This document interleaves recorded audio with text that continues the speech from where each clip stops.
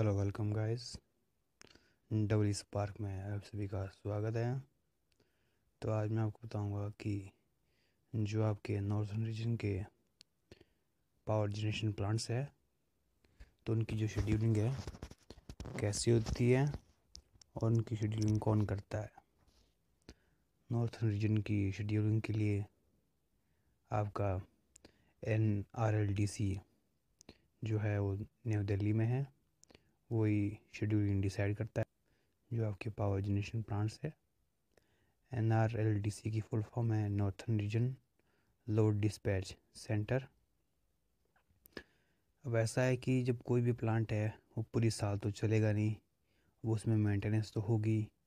अब जैसे कि आपके हाइड्रो प्लांट्स है, वैसा तो नहीं है कि किसी भी रिवर में पूरे साल भर के लिए डिस्चार्ज सेम रहेगा, पानी भी वेरी करेगा।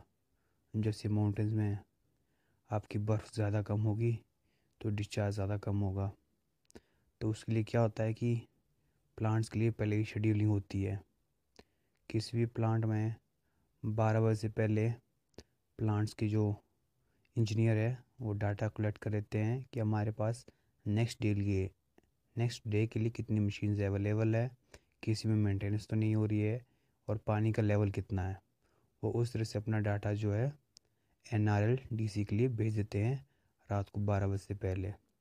तो उसके बाद जब सभी प्लान्स डाटा भेज देते हैं तो N R L D C जो है उन्हें अगली शेड्यूल डिसाइड करता है कि आपको ये जो है इस तरह से मशीन चलानी है।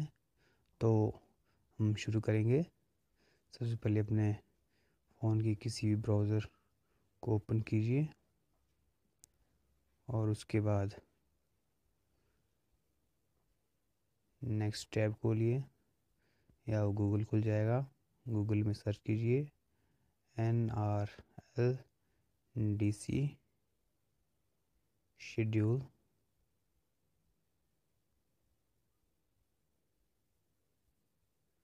उसके बाद आपका खुल जाएगा व्यू इंजेक्शन शेड्यूल ये आपका injection schedule of A D H P L four ग्यारह छः दो हज़ार सतारह।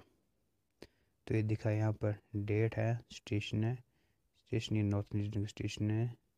जिस भी स्टेशन का आपको देखना होगा, आप यहाँ से सिलेक्ट कर सकते हैं। जैसे कि हमने रामपुर प्लांट का देखना है, इसकी कैपेसिटी है चार सौ पचास मेगावाट ये रिवीजन है कि कितनी बार रिवाज होता है। ये टाइम टाइम रिवाइज होता रहता है।